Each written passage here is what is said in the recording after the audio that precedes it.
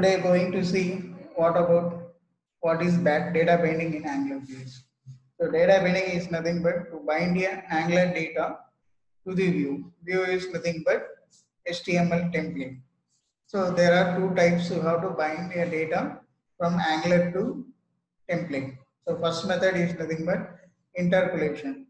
So how to bind a any property that can be created in the class like that. For example, title equal to test. This is a nothing but property that can be defined in the app.component TS file that can be displayed in the HTML file. This is nothing but app.component HTML file is nothing but our template. How to bind, how to display the particular property by using double curly braces. Within the double curly braces, you have to give the name of the property name.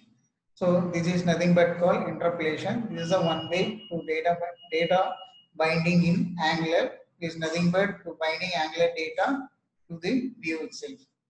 So next one we have I have an array of values. For example, here people is a property that is having any any type of value with array of values. So this is nothing but like JSON format. This is having a name is the property that having the different values like this. So how to display this value by using the directive is called ngFor. ngFor is the directive that is used for binding a data in Angular. This is another method, but it's nothing but like ordinary for loop in some other languages like C and C++, Java, like that. ngFor is a directive.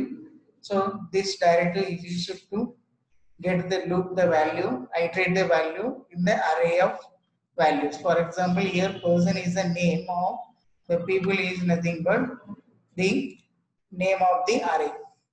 Now I want to display the name is the property that already defined in the app component by using the interpolation is the method.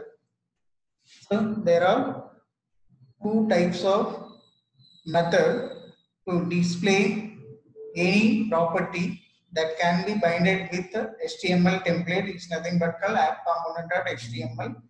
So after successfully we have to compile the project right now. So npm start.